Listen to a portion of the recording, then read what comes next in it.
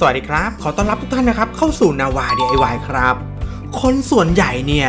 รู้เรื่องนี้ช้าเกินไปครับ และเพื่อไม่ให้พลาดคลิปใหม่ของเราเนี่ย อย่าลืมกดติดตามด้วยนะครับ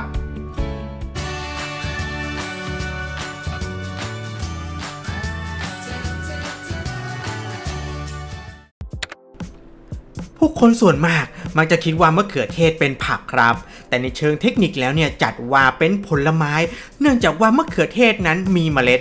จึงทำให้ถูกจำแนกในเชิงพฤกษศาสตร์นะครับ ให้อยู่ในระดับเดียวกับเบอร์รี่ ท่านทราบหรือไม่ครับว่ามะเขือเทศนั้นจัดว่าเป็นผลไม้ที่คนทั่วโลกเนี่ยนิยมรับประทานมากที่สุดครับ โดยนิยมรับประทานมากกว่า ผลไม้ยอดนิยมอันดับ 2 อย่างกล้วยมากถึง 16 ล้านตันต่อปี ส่วนผลไม้อันดับที่ 3 นั่นก็คือแอปเปิลและส้มนั่นเองครับ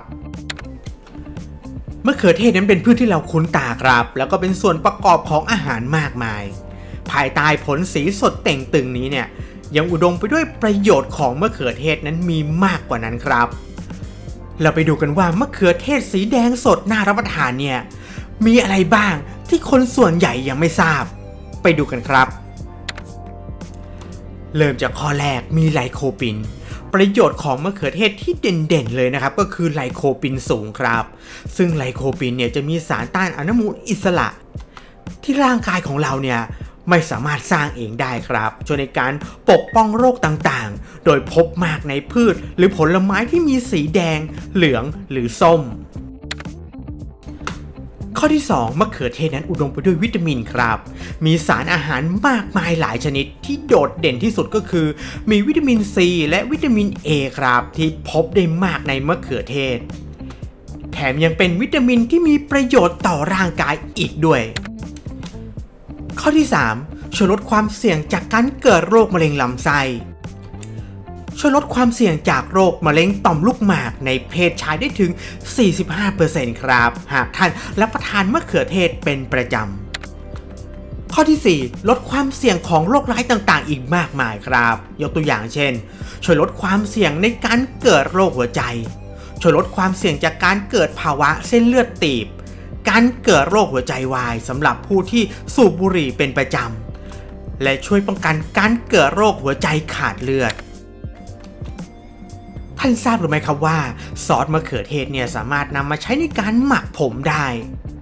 โดยจะช่วยในการป้องกันการเปลี่ยนไปของสีผมครับ อันเนื่องมาจากการว่ายน้ำในสระที่มีคอรีน และยังนำมาใช้ในการขัดเครื่องประดับเงินครับ ให้เงางามได้เหมือนเดิม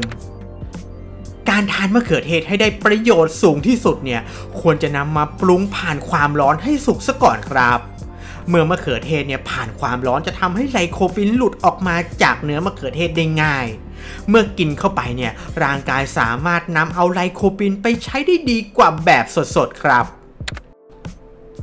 นอกจากนั้นวิธีการดื่มน้ำมะเขือเทศให้ได้ประโยชน์สูงที่สุดก็คือ ควรดื่มก่อนอาหารในช่วงที่ท้องว่างครับ หรือว่าดื่มหลังอาหารทันที เพราะว่าไขมันในอาหารเนี่ยจะช่วยทำให้ร่างกายดูดซึมไลโคปินได้ดีมากยิ่งขึ้นครับ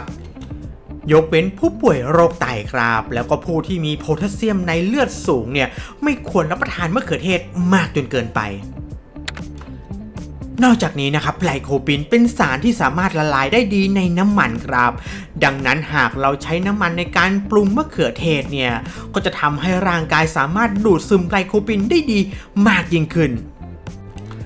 และทั้งหมดนี้ครับก็คือเรื่องราวดีๆ ที่เรานำมาฝากท่านในวันนี้ ก่อนจากกันบอกเราหน่อยว่าท่านเป็นคนหนึ่งหรือเปล่าครับ ที่ชอบรับประทานมะเขือเทศอย่าลืมคอมเมนต์บอกกันไว้ใต้คลิป และถ้าท่านเป็นคนหนึ่งที่รักสุขภาพนะครับแล้วก็ชอบเรื่องราวที่เป็นประโยชน์แบบนี้เนี่ยอย่าลืมกดติดตามไว้นะครับเรายังมีเรื่องราวอีกมากมาย มีคลิปใหม่ ๆ มาลงทุกๆวันครับสำหรับวันนี้นาวา DIY ต้องลาท่านผู้ชมไปก่อนครับ แล้วเรากลับมาพบกันใหม่คลิปหน้า สวัสดีครับ